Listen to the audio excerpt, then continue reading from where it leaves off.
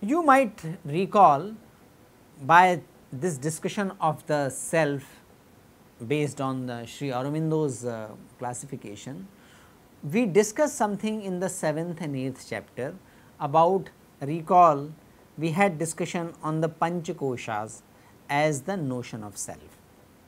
We also discussed that different koshas are classified into shariras or body. So, gross body is uh, is, un, is sthool sharir or gross body is annamay kosh, uh, sukshma sharir or subtle body uh, is pranamay kosh, manomay kosh and vijnanamay kosh and karan sharir the causal body is anandamay kosh that is our real self.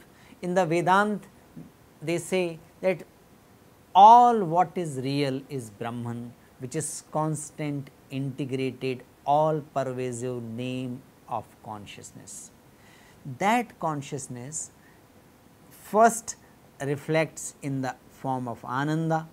So, sat chit anand that is its form that is its expression ananda is the ex first expression from the ananda comes vijnanamaya kosh from the vijnanamaya kosh emerge uh, manomaya kosh then pranamaya kosh and then the gross body appears.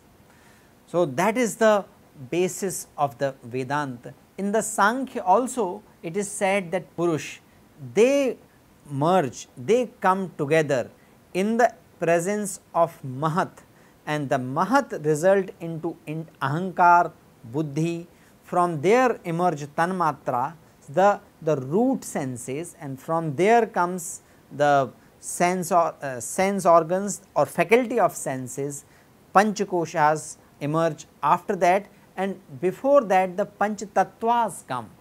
So, in both the streams uh, Sankhya and Vedanta what is assumed is so in both the streams Sankhya and Vedanta it is upheld that constant integrated awareness in the presence of Prakriti or not in the presence of Prakriti. In the Sankhya they say it is with Prakriti, Brahman they say it is because of ignorance, because of Maya. So, these are uh, the differences in the interpretations, but uh, eventually both the systems believe that it is the subtlest and the most pervasive aspect result into more individualized aspect of uh, physicality, mentality or physicalized aspect of individuality. So, if we have to manage ourselves, we need to manage at the gross level as well as the subtle levels. So, for that there are many interventions in the uh, we call yoga. Yoga as explained earlier comes from the word yuj that means joint that which joins that which connects. First it was used for that piece of sent together for the work of agriculture. Is inherently it means that which connects or actually it should mean that which reconnects. Our individual self and the cosmic self are always one. Actually the individualized self is result of the cosmic self, it is an expression, but because of ignorance or because of prakriti, uh, whatever philosophical school we follow, we experience the sense of individuality or we experience the separation from others. Yoga help us in dissolving their that experience and if that experience is dissolved even for few seconds, even for some time in being in our physical body, then that is the state of blissfulness. That is what yogis talk about. To achieve that state, there are predominantly four paths. There can be numerous paths. If you look at the uh, list given by given in the Feuerstein's book on the psychology of yoga, he enumerates more than 40 types of yoga. You also must have heard about many types of yogas, but Swami Vivekananda classified it in a simplistic way branches. Bhakti Yoga that is about surrender to the embodied form of universe. So, that constant integrated awareness not many people can relate to that. So, uh, they give some form to it form of Krishna or form of Shiva or form of Ram. These are the forms given these are also uh, avatars and these are accepted as the expressions or embodied form of supreme.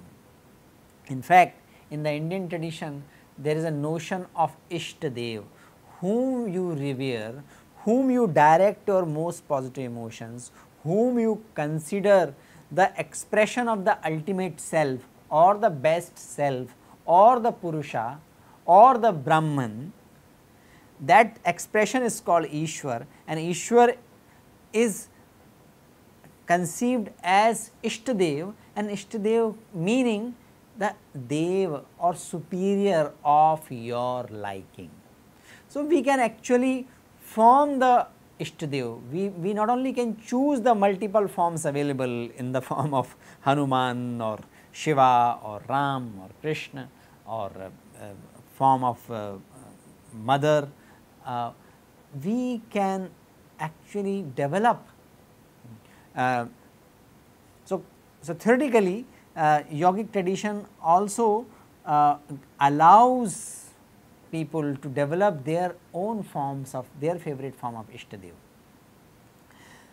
So, Bhakti Yoga predominantly it is Manomaya Kosh driven, Jnanamaya, then comes the Jnana Yoga Gyan Yoga is based on the core question of who am I.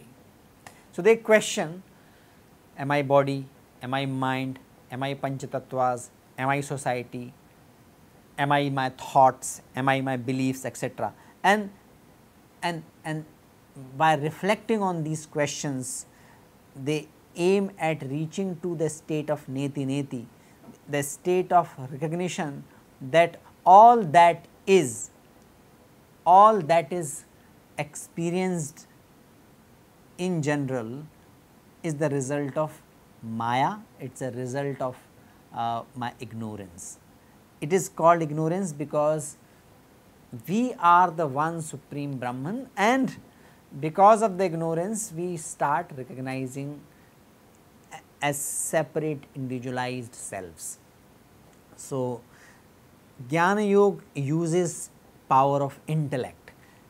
Based on that intellect, it constantly asks its disciple to ask the question about who am I and that process through which this examination takes place is called Shravan that is listening to these thoughts, Manan means thinking about these and Nididhyasan meaning internalizing these and looking at how these thoughts become part of our actions as well.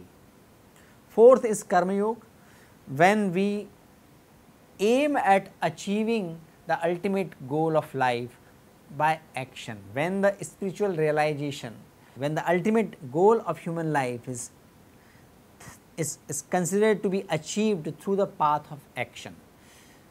Remaining in the world being engaged in the day to day activities of job, vocation, business, can we attain the spiritual life? Can we attain the spiritual experience?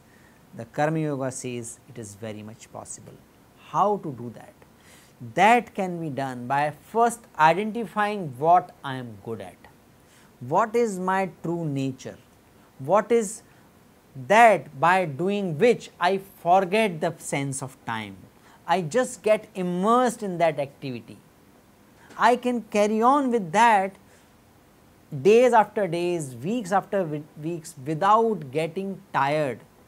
And what gives me not pleasure, anand, bliss while being engaged into that. That is the combination of aptitude, my nature, my capabilities, my uh, upbringing, so many things that is the first form of Swadharma. That is the first aspect of Karma Yoga. Another aspect is offering that whatever you are best at, offering that to make the world a better place, offering it for the world maintenance. That is the Karma Yoga. We are going to discuss the importance of Karma Yoga in terms of the career management. And fourth yoga is called Hatha Yoga or Raja Yoga. Swami Vivekananda called it Raja Yoga. Uh, some other uh, great masters have called it Kriya Yoga. Uh, Ashtanga Yoga is the general name because it has 8 aspects and also called Hatha Yoga. That is what we are going to uh, mostly discuss in this course.